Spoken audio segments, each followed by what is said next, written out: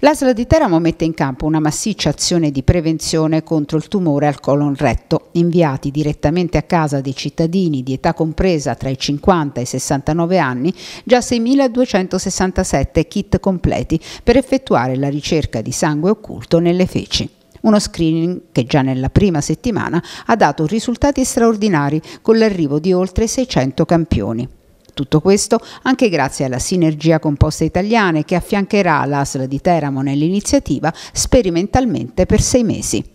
Il tumore del colon retto è la seconda causa di mortalità per tumore eh, eh, e si presta benissimo a quella che è una prevenzione.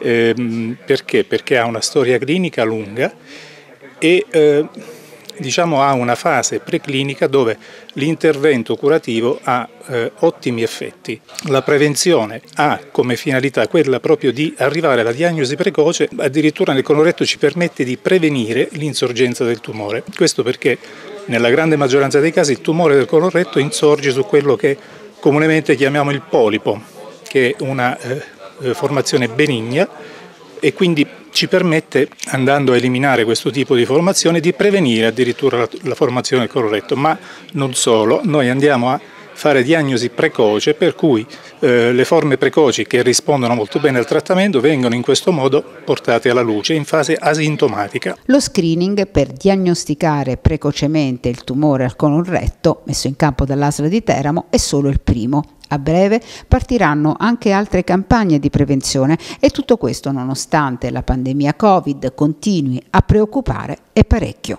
La pandemia c'è, non scordiamoci, noi abbiamo l'ospedale oramai con 30 ricoverati, 5 in rianimazione, 19 stanno al bellocchio, 115 positivi al giorno, la media è di 100 positivi al giorno, quindi la, la pandemia c'è non è che possiamo, dobbiamo dire che la pandemia è scomparsa, la pandemia c'è, va affrontata e dobbiamo però salvaguardare anche tutte le altre situazioni salutari che ci sono. La gente non si ammala solo di virus, ci sono altre, tante altre patologie e noi dobbiamo, siamo, stiamo qui appunto per tutelare la salute del cittadino.